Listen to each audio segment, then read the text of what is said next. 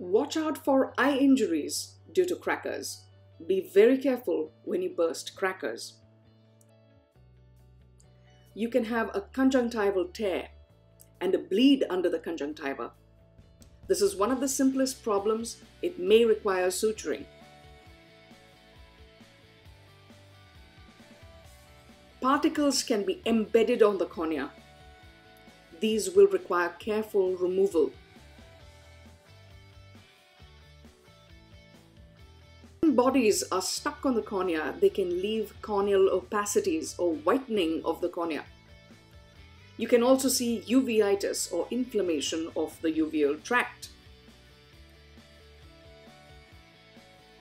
You can have a total eyeball rupture and a massive bleed inside the eye.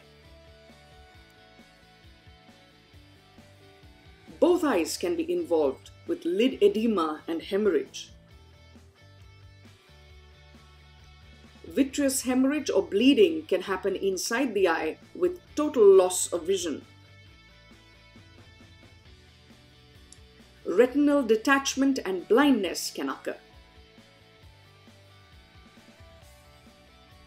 If you have had eye injury due to crackers, see a retina specialist immediately.